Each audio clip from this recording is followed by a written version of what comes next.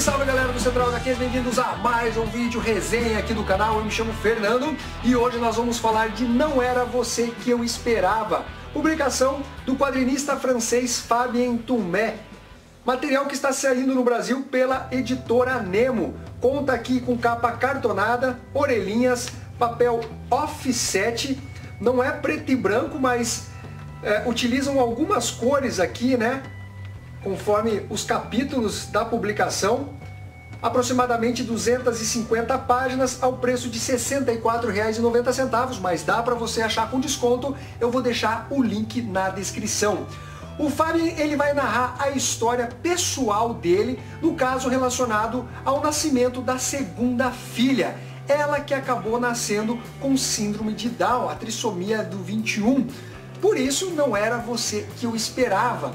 E galera, essa publicação realmente ela traz uma emoção para o leitor e acredito eu, principalmente para quem é pai ou que vai ser pai, né? Vai que tem a sua companheira que está grávida e tal, porque essa paranoia de que seu filho nasça todo perfeitinho, né? E aí não só relacionado, no caso, à síndrome de Down, mas sei lá, com cinco dedos na, nas mãos, que nasça com a orelhinha, né, com, com a boquinha, com o órgão genital tudo corretinho e tal.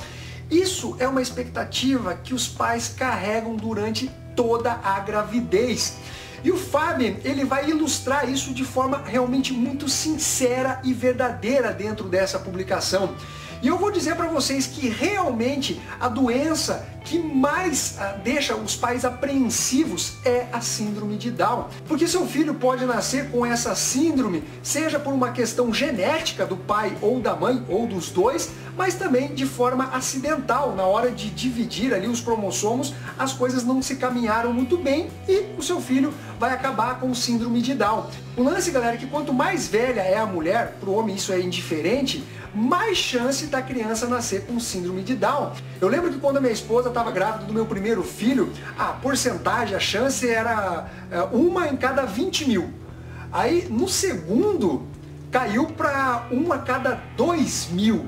Então, queira ou não, você fica né, com aquela expectativa, aquela apreensão, você vai acompanhando né, os ultrassons, os exames que são feitos e vai te tranquilizando. Isso, mas isso é natural, não se trata de preconceito. Você quer sempre o melhor para o seu filho. E a gente sabe que a síndrome de Down, ela traz algumas limitações para as crianças. Obviamente, existe também muito preconceito com relação aos portadores da síndrome de Down, né? E esse livro, ele ajuda a desmistificar boa parte desses preconceitos, mas é natural, né, que a gente queira que os nossos filhos nasçam com a saúde é, 100%, né? Ou que eles sejam melhores do que nós mesmos, né?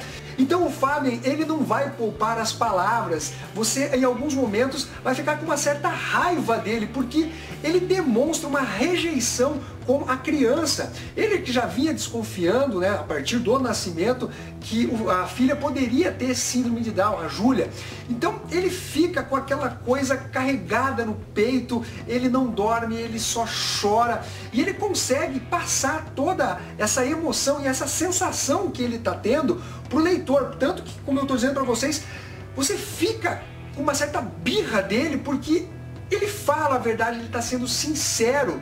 E isso nessas publicações pode levar as pessoas até a atacá-lo, né? dizendo que ele é preconceituoso, ainda mais uh, no, nos dias atuais que as pessoas têm um certo problema de interpretação de texto fazem essas interpretações de forma mais negativa possível, sendo que aqui ele está realmente expondo o que ele viveu, o que ele sentiu. Mostra também a, a situação da esposa que sofreu também é, quase tanto quanto ele, mas ela conseguiu assimilar, absorver né, essa ideia de ter uma filha com síndrome de Down de forma um pouco melhor é, do que ele. Então ele realmente constrói uma história que é interessante. Então eu acredito que para quem é pai vai conseguir se sentir sentir um pouco na pele aqui do Fábio, mas para quem vai ter filho, eu não recomendo a leitura, porque você vai começar a ficar muito paranoico. Você fala, meu Deus, cara, será, será, será? Então, não leia esse material, muito menos dê para sua esposa ler. Mas de qualquer forma, a narrativa dele é muito bacana. Você percebe que de um capítulo para o outro há uma mudança nas cores. O Fábio, ele tem uma esposa brasileira, então ele viveu no Brasil durante alguns anos.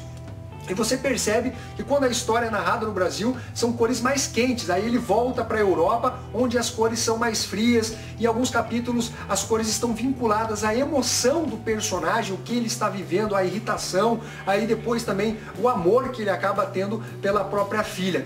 Então, galera, realmente nós temos aqui um material bem bacana, emotivo e que eu dou uma nota 9. Material bem interessante para você ler, mas se a sua esposa está grávida, espere um pouquinho. Então é isso daí, galera. Um abraço para todos vocês. Não esqueça de se inscrever, comprar pelos links do canal Central HQs. Um abraço para todos e fui!